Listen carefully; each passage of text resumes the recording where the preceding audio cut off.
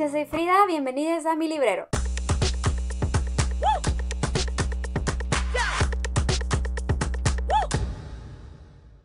Oigan, estoy muy emocionada porque ya se llegó esa época del año donde voy a poder leer mis libros que están en mi pile of shame, que el pile of shame sería como la pila de la vergüenza, los libros en los que estoy en medio sin razón alguna los dejé ahí olvidados y no les quiero mentir, olvidé grabar un intro para este video, así es que no le tomé screenshot a mi Goodreads. Ya leí un par de libros, así es que no están todos ahí, pero cuando inicié este mes estaba creo que en 36 libros en los que estoy en medio. Y sé que no están todos, entonces sé que hay más, fácil llega como al 40. Pero el chiste de este blog es tratar de leer los más que se pueda de alguna manera en el mes. Voy a tratar también en los meses que siguen, tratar de ir bajando poco a poco esta lista y tal vez antes de que se acabe el año traiga otro blog de que enfocado en solo leer los libros de esta pila porque está grande. Siento que el slump hizo también que creciera bastante. Creo que cuando inicié mi booktube estaba como en 22 libros y ya se duplicó. Entonces, sí, yo sé, esto es un problema, yo sé que lo tengo, pero es el chiste de este blog y de hacer este reto es que pues vaya reduciéndose un poco ese problemita, ese problemita que está ahí, que miren, trato de no ver, pero me está respirando aquí. Todo el tiempo pienso, tengo muchos libros que necesito terminar. Entonces, sí, es el propósito de este blog. Ya les hablé un poco de mi TBR de, julio, de los libros que quería intentar leer este mes. No todos se los voy a traer en el blog porque no puedo, eh, mi vida es un poco caótica, entonces voy a tratar de traer los más interesantes, los que más tenga ganas de platicarles.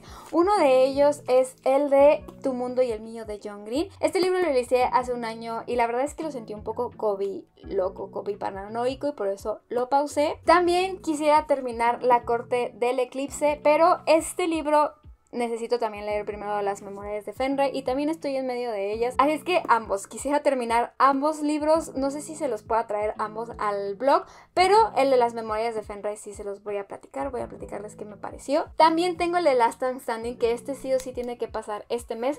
No estoy muy segura de qué va este libro porque me lo recomendó mi mejor amiga y ella sí toma mis recomendaciones de lectura. Nos vamos de que ahí pasando libros que nos interesan. No sé de dónde consiguió esta recomendación, pero tengo muchas ganas de leerlo. No sé de qué va, ya que lo lea se los contaré, pero este es uno de los que sí o sí tiene que pasar dentro de este blog. También eh, quiero leer el de Inés del alma mía. Este lo inicié a inicios de año, fue el primer libro que empecé, porque tengo una tradición de el primero de enero leer libros. Y me quedé en la página 80, pero perdí el audiolibro en que iba. Este lo estaba leyendo con mis ojos, solamente que justo el audiolibro no traía los capítulos, así es que no sé, no sé cómo lo voy a hacer para terminarlo, pero estoy muy interesada de sí continuar con la lectura. Una carta fácil para leer en este blog sería el de Animales Fantásticos y donde encontrarlos el screenplay. Este libro tiene cuatro años que lo inicié y la verdad es que no sé si lo vaya a terminar algún momento, pero estaría chistoso ya poderlo terminar, ¿saben? De que creo que ya pasó un rato del hype de esta historia y que nunca vamos a ver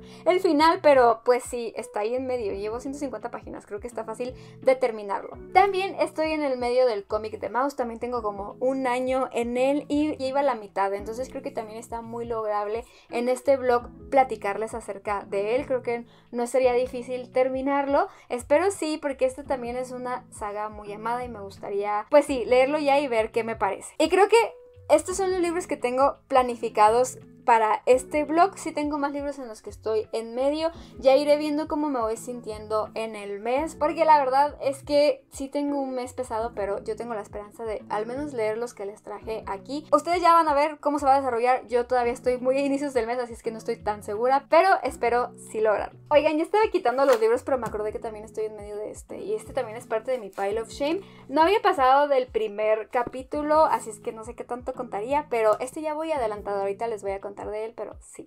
También quiero leer Serpent and Dove. Sé que está un poco delusional querer leer tanto en un solo blog, pero yo estoy esperanzada, estoy siendo muy optimista con ello. Como les dije, ya voy en la página 230 de este libro. No de todos les voy a ir actualizando qué me parece. Este solo porque, pues ya les dije que ya lo inicié, pero he estado atoradona en él. Pero me ha sorprendido porque justo esta historia la inspiró Sarah J. Maas y a mí Sarah J. Maas no funciona conmigo. Así es que creí que este no lo iba a hacer, pero le quise dar una oportunidad porque pues ya lo tengo en mi librero, ¿saben? No me está gustando, por eso digo de que no sé si vaya a leer la parte 2 y 3 de la historia, depende más del final, pero ya voy casi en la mitad y me faltan solamente como 3 horas del audiolibro, solamente que me enfoqué en otras lecturas del mes, por eso no lo he avanzado. Estoy ahorita en la semana número 2 de julio, por eso estoy aquí de que eh, de manera extraña platicándoles de él, pero eh, pues sí, seguimos la historia de una relación falsa, matrimonio falso, que es algo que amo, por eso lo quise leer, y es entre una bruja y un cazador de brujas. Él no sabe que ella es una bruja y es un young adult, se lee muy rápido, por eso se ve como tochón, pero pues si en tres horas lo termino, la verdad es que no es tanto. Lo que estoy apreciando mucho es que no es diabólico y siento que ahorita hay como una temática allá afuera en la que sí son muchas de las historias que están allá afuera, la música y eso, y yo no soy religiosa, pero también digo de que, mmm, chistoso, ¿no? Entonces, al menos no lo es, es una bruja de que, ok, al menos en lo que llevo. No sé qué le pasa porque sí tiene miedo de que alguien la atrape, todavía no llego como a saberlo. Quiero saber si va a tener una resolución, no estoy tan segura de ello, pero pues sí, lo estoy atravesando, ya que lo termine les vuelvo a actualizar de él, no les voy a estar actualizando en cada actualización que les traiga de los libros, pero pues sí quería contarles que este ya lo estoy leyendo y que tiene también como tres años en mi lista, en mi pile of shame, entonces pues sí, al menos está avanzando. El libro que ya terminé es el de Tu Mundo y el mío de John Green y por eso es el de Serpent and Dog no lo he acabado porque este lo viví con él una semana y ya estaba esperando todos los días porque fuera noche para poder leer porque no lo tengo en audiolibro, lo leí solo con mis ojitos. Y justo no sé si alcancen a ver, pero tiene un montón de post-its, son post-its que combiné con la portada y me siento yo la booktuber más profesional de este planeta solo por ello, pero justamente me sorprendió un montón. Les digo que la primera vez que lo empecé a leer sentí que estaba muy COVID paranoico, John, y por eso lo pausé. Y cuando ya lo leí es totalmente lo contrario. Estoy muy feliz de haberle dado una oportunidad porque les digo, lo leí en una semana. Estoy leyendo más libros, también tomen en cuenta, pues no es el único que leí, pero siento que me sacó del slump. Genuinamente creo que este libro me ayudó bastante y estoy muy feliz de haber encontrado un libro 5 estrellas en este blog. Creí que iba a traerles muchos DNF, pero genuinamente creo que este libro vale un montón la pena y sé que está de moda odiar a John Green y decir que es un mal autor, pero Creo que con este libro demuestra que no. Cada uno de los capítulos es una historia diferente que nos va contando. Nos cuenta de los árboles, nos cuenta de los osos polares, de los ositos de peluche. Y hay una historia de fútbol de un jugador polaco que creo que es de Liverpool. Creo que sí, creo que es el, el, equipo al que le va John Green. Este, y yo estaba ahí echándome la historia del man, que es. A mí el fútbol no me gusta, es un deporte que genuinamente no disfruto, no lo entiendo, no me gusta ni siquiera la afición que existe detrás del fútbol. Y yo estaba leyendo la historia de este jugador y yo de que es hermoso, es la mejor historia de la historia del fútbol, ¿saben? Entonces, sí, me hizo involucrarme en cosas que a mí ni me gustan, cosas que también hay barrera cultural que no existen en México, ¿saben? Canciones que son muy famosas para el año nuevo, que yo ni sabía que existían,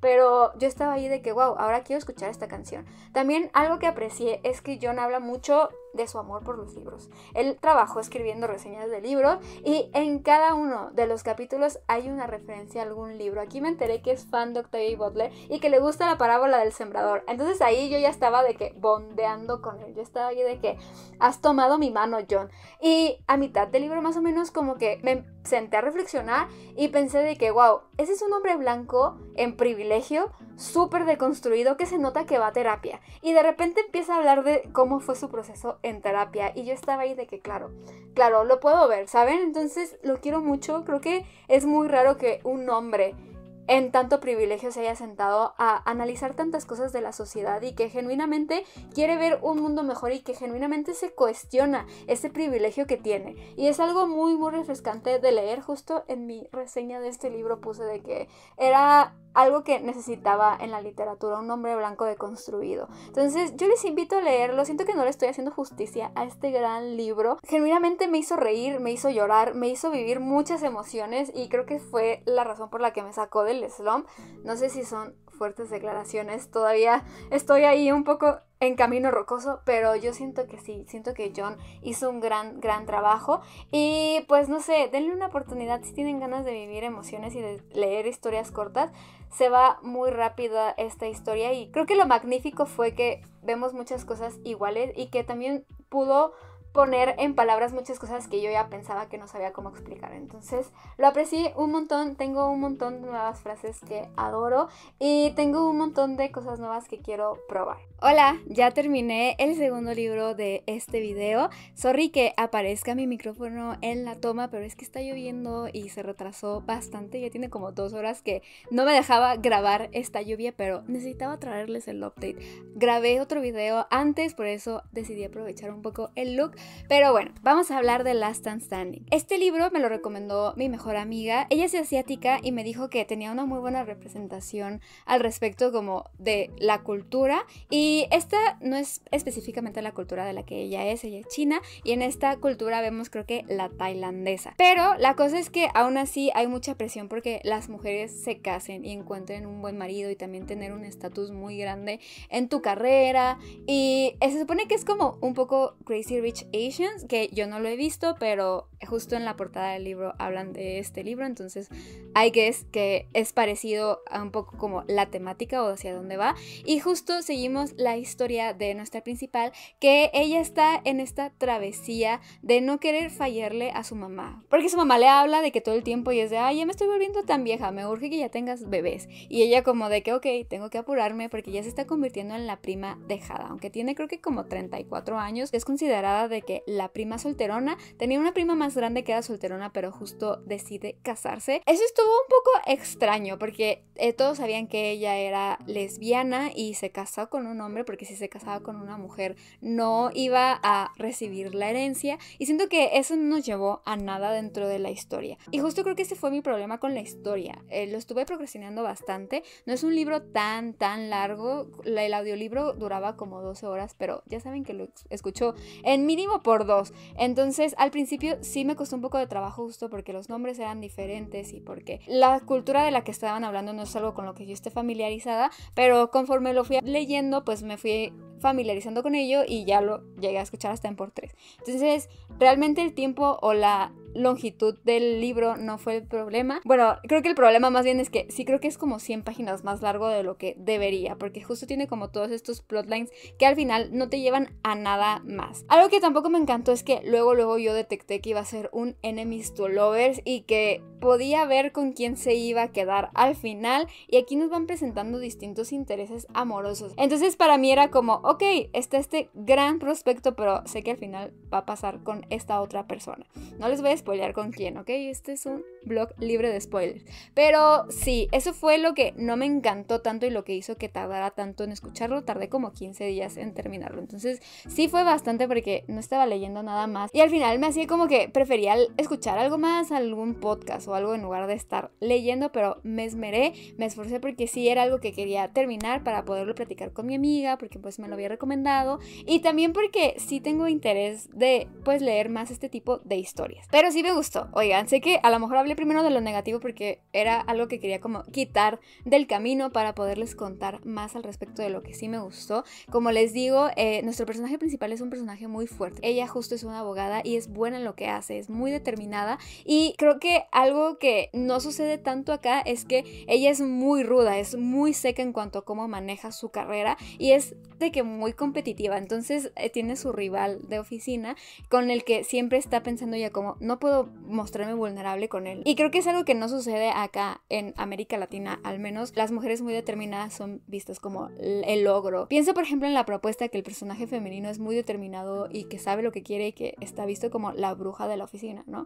Entonces es algo que sucede mucho acá y eso fue refrescante de ver. También el hecho de que es un personaje más grande hace que tenga varias capas esta historia porque justo eh, uno de los primeros intereses amorosos es un chico como 10 años más chico que ella y se debate el hecho de decir esto está mal, esto es una relación de poder, esto no es algo que debería de suceder, no tiene una relación con él específicamente, pero si es alguien que llega a su vida y que está como en la fotografía, por así decirlo, entonces está muy interesante cómo también el papel de la edad va jugando un tema importante como hacia dónde va ella y el tema del control de su familia, ¿no? Creo que es algo que sí nos podemos identificar todos y que aunque no te esté hablando tu mamá para decirte que te estás quedando, pues tú sientes la presión de ver que todo el mundo se está casando, está teniendo hijos, hijos y es un poco difícil. Personalmente no soy tan grande, pero sí me pasa que justo conoces personas más chicas y dices de que, ah, es un gran partido y de que del otro lado ves a tus amigos comprometiéndose y en relaciones muy estables y tú estás ahí de que, bueno, yo solo soy aquí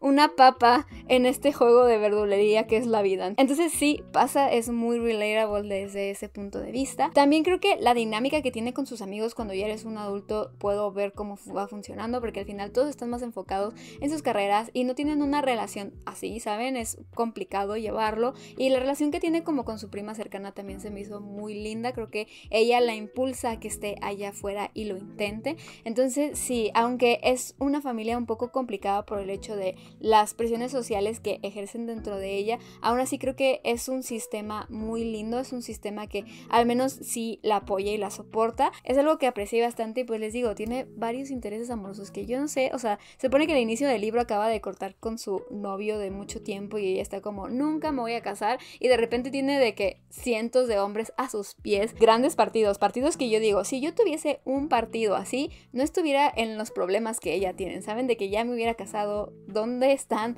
los buenos hombres? Creo que sí está muy centrado hacia la perspectiva femenina de cómo se vive la soltería ya como un adulto, pero lo disfruté, está ok, hubieron partes en las que sí me reía, creo que es muy caótica, tiene mucha ansiedad y como que piensa mucho las cosas y está como viviendo en estado de alerta constantemente o en estado de crisis, ¿saben? Siento que con eso me pude identificar bastante con ella también. Yo también todo el tiempo estoy como que sucedió algo y es algo que me cambia la perspectiva y digo, ¿cómo lo voy a solucionar? El otro día hice voluntariado y mi amiga me dijo, tienes que llegar 15 minutos antes y yo de que no se va a armar. Me iba a levantar a las 6, ya en mi mente era, me tengo que levantar a las 5 de la mañana, no lo voy a lograr. Entonces, sí, me pasa. Siento que ese tipo de crisis, ¿saben? No crisis tan importantes, eh, que no debería ser así, ¿no? Estoy trabajándolo en terapia. Pero pues ella lo vive también un poco similar porque pues uno tiene tan controlada su vida que de repente cualquier cambio hace que tú te frenes de alguna manera. Me gustó, le di un tres estrellitas.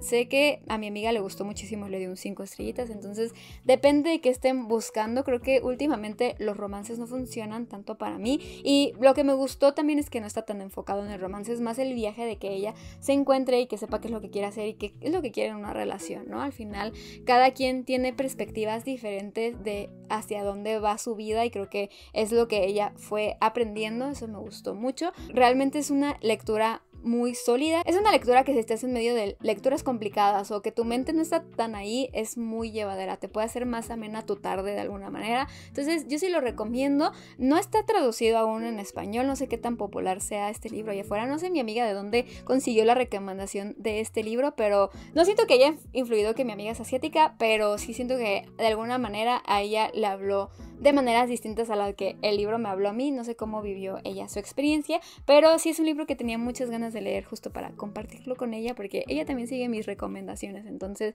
se le aprecia muchísimo y pues les digo, es una lectura sólida que si están en medio de libros complicados o de que a lo mejor momentos complicados en su vida en la que están pasando muchas cosas, este es un libro muy ligero que les digo, me hizo reír, me hizo vivir y que estoy feliz de que ella haya salido de mi pile of shame. Oigan, me tocó grabar otro video, así es que decidí también aprovechar otra vez otro outfit porque es que me la paso en pijama y cada que grabo digo de que tengo que actualizar los vlogs que estoy haciendo. Pero les traigo una gran actualización y es que hoy es día lunes, pero el día ayer, domingo, leí tres libros. Bueno, terminé. No los inicié de cero, pero yo me siento la persona más accomplished, mejor lectora del mundo. Que yo sé que no es así, no es una competencia, pero tenía mucho que no me sucedía terminar tantos libros en 24 horas o menos. Entonces me siento muy feliz. El primer libro que terminé fue el de Animales Fantásticos de J.K. Rowling. La verdad es que si no lo hubiera tenido, no lo hubiese terminado. Me dio muy igual, es exactamente igual a la película. La ventaja fue esa, que justo iba a la mitad y que lo inicié en 2019. Chequé, no necesité reiniciarlo porque pues sí he visto la película como dos veces, entonces, nice se terminó. No creí que este libro me ayudase a de que desbloquear y decir, ok, voy a leer varios porque justo pensé en terminar juramentada y todo esto y dije de que no, voy atrasada un poco con mis lecturas, así es que le voy a dar a los que creo que puedo leer rápido y pues este fue uno de ellos. No se los recomendaría, no siento que valga la pena leerlo, pero pues si son fan de Harry Potter y no lo han leído, pues creo que es un must porque pues te regresa al universo que ya conocemos y amamos, pero no me parece un libro que sea necesario leer. También terminé el de las memorias de Fenray y estoy muy feliz de ya haberlo hecho porque ya estoy a finales de julio. Y creo que no voy a alcanzar al terminar la corte del eclipse. Estoy en medio de varios y estoy de que tratando de empujar todo lo que pueda. Pero como si lo quiero leer en físico, sé que no voy a alcanzar. Pero al menos ya leí las memorias de Fenray. Me siento muy feliz de que ya me acordé un poco más de la historia. Porque es por eso que no había terminado la corte del eclipse. Yo leí El príncipe del sol y la ladrona de la luna cuando recién salió la ladrona de la luna. Entonces ya no los tenía tan frescos. Y la verdad es que no los quería releer. Los libros que releo son como mis libros favoritos de la vida y pues estos no están en esa categoría, entonces sí, las memorias de Fenray me ayudó a recordar un poco. Siento que no es necesario. Ah, creo que dijeron que era necesario para leer La Corte del Eclipse, pero yo no leí nada que no sabía. O sea, sí, sí hay recuerdos de los personajes y características especiales de ellos, pero no siento que al menos lo que llevo de la corte del eclipse, que son como 50 páginas, no, no vi el por qué es necesario leerlo antes. Entonces, si tienen como esa pregunta o esa duda, creo que lo que yo leí en las memorias de Fanray, puedes leer primero La Corte del Eclipse y luego leer este, aunque sí les recomiendo que lo lean porque es apoyar a una autora mexicana, pero de ahí en fuera no siento que fuera tan necesario desde mi punto de vista.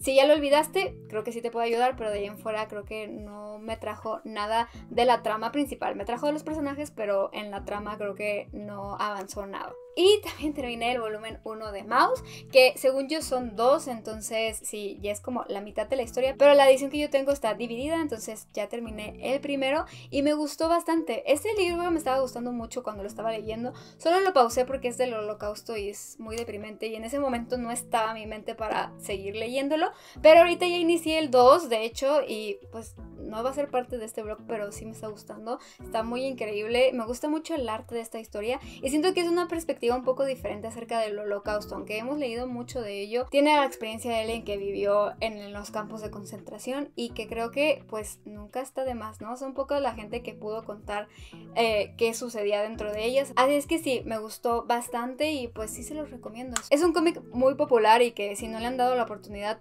está increíble. Son ratoncitos eh, los judíos, entonces eso está muy padre. Pero pues tengan la advertencia de que sí está muy oscuro. No es tremendamente gory ni nada así. Solamente pues es un episodio muy triste en la humanidad y a mí sí me va deprimiendo poco a poco. Pero estoy muy feliz de ya haberlo terminado. También tardé como un año y pues ya se logró. Bueno, les traigo la última actualización de este blog. La verdad es que...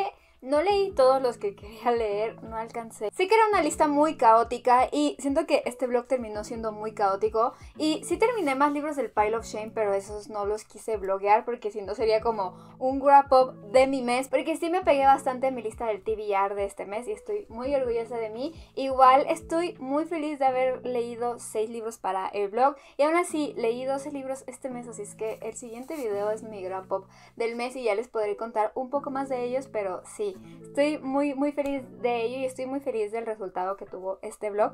Pero bueno, les voy a hablar del libro que sí alcancé a terminar este mes y ese es Serpent and Dove. Después de que les actualicé, me involucré bastante con la historia. Me fue muy fácil terminarla. Y sí es un tocho, pero pues yo les dije al inicio que este es YA, entonces no es tan difícil de leer. La verdad es que se pasó muy rápido y me empecé a involucrar bastante. Yo les tengo que decir que la verdad es que no es un buen libro. No tiene una buena storyline. Hay varios plots en los que se sienten extremadamente ridículos y es lo que me costó como involucrarme. Como que después de las 200 páginas ya estaba involucrada con Lou y con Reed y por eso funcionó para mí, pero estaba muy impresionada porque dije de que no puede ser que este libro va a ser un 4 estrellas. Realmente yo no tenía esperanzas de nada de este libro y sentí que eso jugó un poco a su favor, pero el epílogo, el último capítulo, no recuerdo si tiene epílogo, pero sí fue el último capítulo, el que fue tremendamente meloso nivel Crepúsculo Luna Nueva.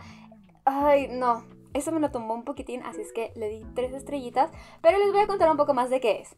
Aquí seguimos la historia de Lu, que ella es una bruja que está escapando de algo, no sabemos bien de qué es hasta más adelante en el libro, y la historia de Reed, que él es un cazabrujas. Él es un niño que fue abandonado en la iglesia, no recuerdo cómo se llama el lugar donde están, es la torre, pero no me acuerdo cómo se llama en específico, y es parte de los Chazors, que es como, no sé si se pronuncia así, es también ese fue un struggle. Hay palabras en francés aquí que me costó bastante. Eh, lo leí con audiolibro también y sí me sacaba un poco de la historia. Pero sí, está con los Chazars, que es como el grupo Brujas y ellos no las ven como seres humanos. Algo que me gustó bastante es que, y que creo que sí se los mencioné en la primera actualización del libro, es que no viene de los demonios la magia. Y eso me pareció bastante refrescante porque me cansa mucho que siempre, pues justo, las brujas fueron cazadas por eso, ¿no? Las brujas que en serio existieron, pero pues no, o sea, aquí es porque toman la fuerza de sus ancestras y eso me pareció increíble. Eh, hay un plot twist al final que dije de que, oh, no puedo creer que está pasando esto, pero era como justo leer Gossip Girl. No sé si ustedes han visto esa serie, pero que sabes que es mala y que te están dando plot twist sacados súper de la manga a ser construidos, pero yo estaba ahí de, dame más, dame más. Entonces, sí, eso fue como mi experiencia leyendo este libro. Y la cosa es que por cuestiones del destino, los caminos de Lu y Reed se ven chocados, se ven entrelazados y tienen que casarse sin amor. Es en el primer momento en el que se conocen cuando se tienen que casar. Y eso es lo interesante, él no sabe obviamente que es una bruja, pero ella sí sabe que él es un, eh, pues, cazabrujas. Entonces empezamos a ver esta dinámica y de cómo ella, pues, aunque sí accedió a casarse, pues no le iba a hacer la vida fácil a alguien que, pues, justo ve como un demonio a los su raza, es que ni siquiera es raza, es como a sus mujeres, ¿saben? Entonces, eh, pues sí, empieza a ver esta dinámica interesante entre ellos. Y les digo, me gustó, no les puedo decir mucho más porque creo que sería spoiler, como adentrarnos en la historia muchísimo. Ah, también algo que me gustó mucho es que ella tiene a su amiga que es Coco y ella tienen un equipo muy bonito, siento que es algo refrescante, me gusta mucho leer acerca de amistades entre mujeres. Me gusta que si tiene una perspectiva feminista, no es mm, demasiado, no sabría cómo catalogar este feminismo, tal vez eh, siento que podría irse al feminismo blanco, pero creo que la autora no es blanca en sí, pero ya saben, ese feminismo que está allá afuera, el feminismo más común que vemos todos, que sí dice de, pues bueno, es que las mujeres somos poderosas y cosas así, sí viene aquí, pero no es parte central de la trama, solo hay ciertos tintes que pues fue refrescante de leer, ¿saben? De que estuvo ok. Sí estoy interesada en seguir la historia. De hecho, cuando todavía no leía al final, que yo estaba como, wow, este es un libro cuatro estrellas, dije de que voy a checar en cuánto están los siguientes libros para tenerlos en mi librero. Y creo que fue ahí cuando dije de que, wow, un momento, si te está gustando esta historia. Pero ya que pasó este, pues, final, no sé si los vaya a comprar, pero sí los quiero leer. Lo están en audiolibro en Script, así es que tengo acceso a ellos. Y pues sí, en general estuvo ok la historia historia, no los voy a leer luego, luego. Ahorita tengo muchísimas cosas que les quiero traer al canal y que voy a priorizar esos libros. Y aparte son libros que también tengo muchísimas ganas de leer, entonces está bien. Podemos ponerle pausa y esta es una de las razones por las cuales estoy en medio de miles de series. Sepan que mm, lo disfruté. Si están buscando una lectura pues de este estilo de enemies to lovers, de matrimonio forzado, de brujas y eso creo que está ok. Les digo que sí se disfruta en partes, pero es que no me gustan los finales demasiado melosos y aquí lo tengo en el medio del libro o como el conflicto principal sí sentía que eran cuatro estrellitas y pues estoy feliz de ya quitarlo al menos de mi lista como todos los libros siempre, pero pues sí terminé Serpent and Dove y yo me siento muy feliz de haberlo hecho. Y esto sería todo por el video del día de hoy. Déjenme saber qué libros tienen ustedes en su pile of shame si es que tienen, eso estaría interesante. Para igual, si ya los leí yo les puedo decir de que así ah, vale la pena o mejor dale DNF, no sé, les puedo aconsejar aquí en los comentarios. Nos vemos en el próximo video. Bye.